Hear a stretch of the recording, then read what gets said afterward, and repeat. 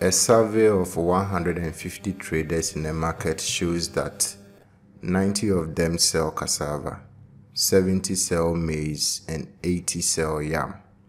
Also, 26 sell cassava and maize, 30 sell cassava and yam, and 40 sell yam and maize. Each of the traders sells at least one of these crops. I represent the information on a Venn diagram.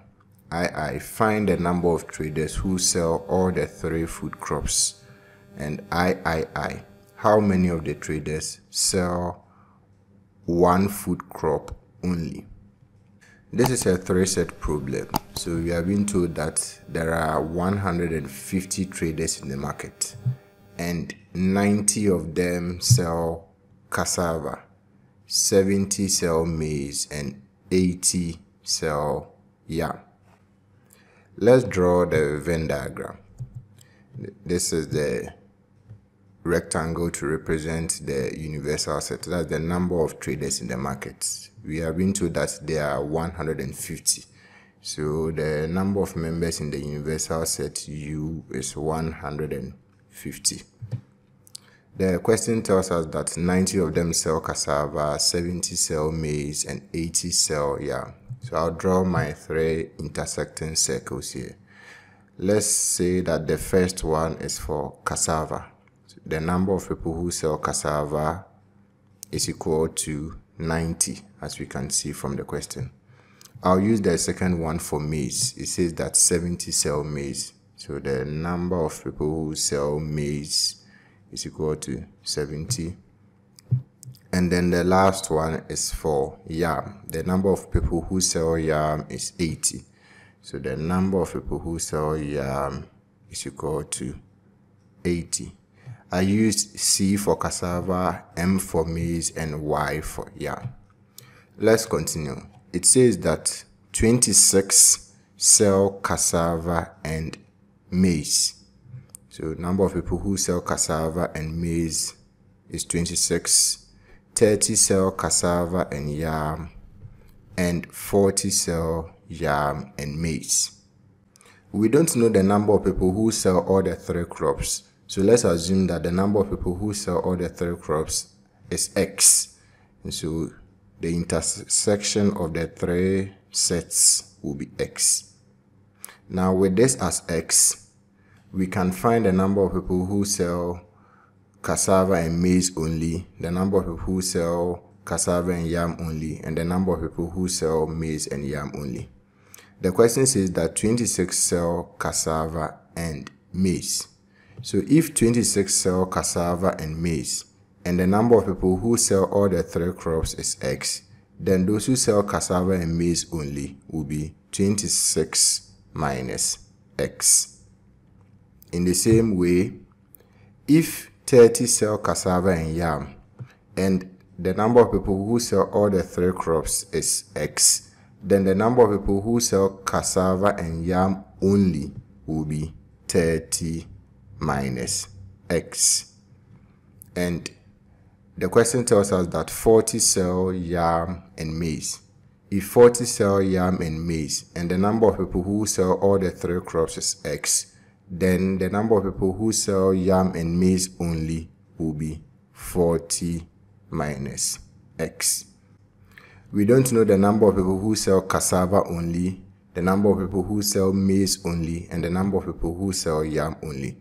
I'm going to use A to represent the number of people who sell cassava only, B to represent the number of people who sell maize only, and C to represent the number of people who sell yam only.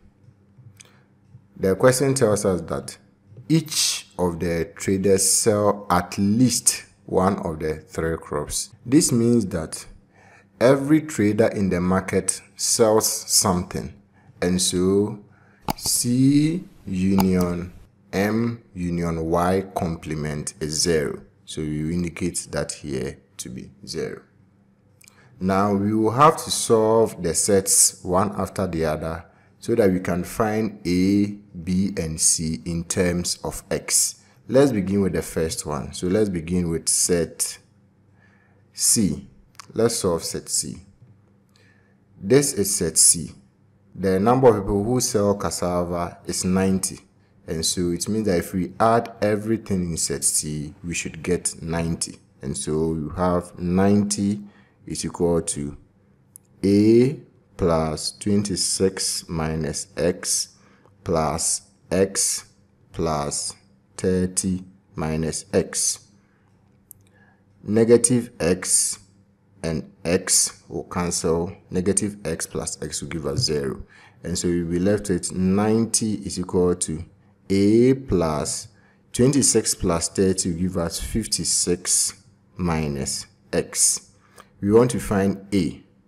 And so I'll bring both x and 56 to the left hand side. And we will have 90 minus 56 plus x is equal to a.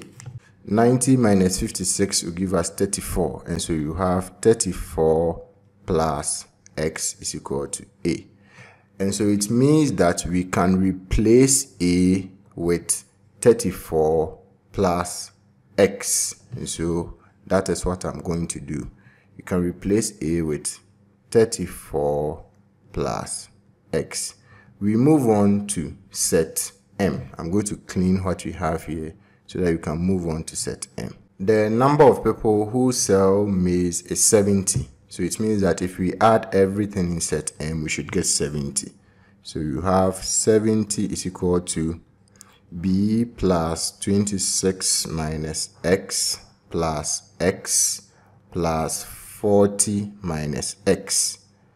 Negative X and positive X will give us 0. And so we'll be left with 70 is equal to B plus 26 plus 40 will give us 66. So we will, have b plus 66 minus x. We want to find b, and so I'll send 66 and negative x to the left hand side. And that will be 70 minus 66 plus x is equal to b. 70 minus 66 will give us 4, and so we have 4 plus x is equal to b. It means that we can replace b with 4 plus x and I'm going to do that. b is now 4 plus x. Let's move on to set y. I'm going to clean what we have here. The number of people who sell yam is 80 and so if we add everything in set y we should get 80. So we have 80 is equal to 30 minus x plus x plus 40 minus x plus c. Negative x and positive x will be gone, and so we'll be left with 80 is equal to 30 plus 40 is 70. So 70 minus x plus c. We want to find c, so I'll send both 70 and x to the left hand side, and that will be 80 minus 70 plus x is equal to c. 80 minus 70 will give us 10. So we have 10 plus x is equal to c. So it means that we can replace c with 10 plus x. c is now 10 plus x. So as you can see, we now have everything in the Venn diagram in terms of x. We can add everything together and equate it to the universal set, which is 150. And so let's do that. I'm going to clean this so that we can continue here. Let's start with 34 plus x. So we have 34 plus x plus, we move on to 26 minus x. 26 minus x plus, we move on to 4 plus x. 4 plus x, then we come to 30 minus x. So plus 30 minus x, we come to x plus x plus, let's go to 40 minus x. We have 40 minus x plus, we have 10, 10 plus x. And then the last one here is 0. So plus 0. And this will be equal to the universal set, which is 150. So we add everything together and equate it to 150. We have x here and we have negative x here. So x minus x will give us 0. Another x minus x will give us 0. Another x minus x will give us 0. So we are left with 1x here. So we have x plus, let's now add the numbers.